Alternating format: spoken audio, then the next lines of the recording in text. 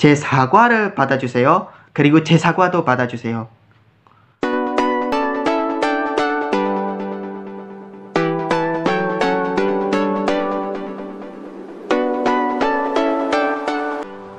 Halo teman-teman, kembali lagi bersama Yusong Sam di sini.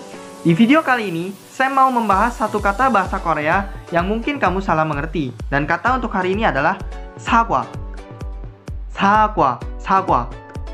Jadi sebenarnya, kata ini mempunyai dua kegunaan, teman-teman. Jadi, beda pelafalan, beda juga fungsinya, teman-teman.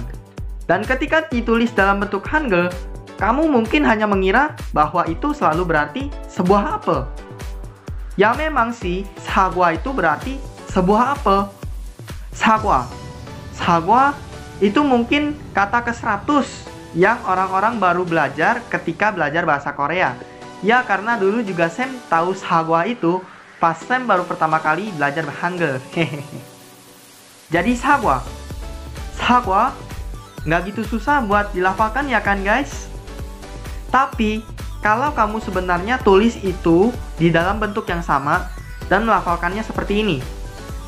Sagwa, sagwa, sagwa, sa lebih panjang di sini. Itu memiliki arti yang jauh sekali berbeda, sangat-sangat berbeda. Dan kata ini juga sering kali digunakan. Jadi ini bisa jadi menyesatkan dan membingungkan teman-teman.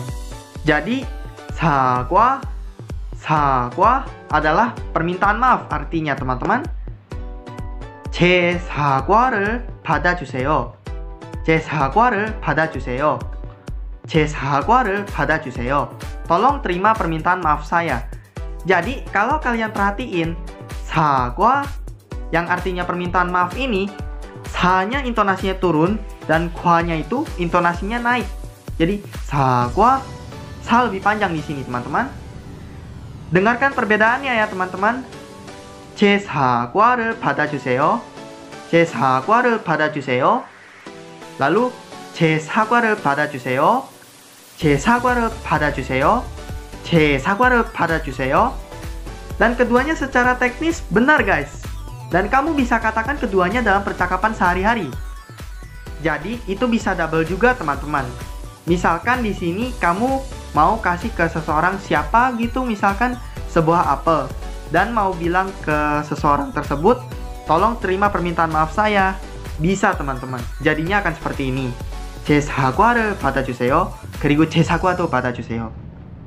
Tolong terima apel saya dan tolong terima permintaan maaf saya juga. Seperti itu teman-teman. Jadi pokoknya sakwa sakwa artinya permintaan maaf, lalu sakwa sakwa artinya sebuah apel. Nah, jika kamu hanya tahu tentang arti dari sakwa itu apel, sekarang kamu juga sudah tahu bahwa sakwa juga berarti permintaan maaf. Hanya saja pelafalan intonasinya yang beda, guys. Itu saja pelajaran untuk hari ini dan kita ketemu lagi di video berikutnya. Kamsahamnida. Annyeong.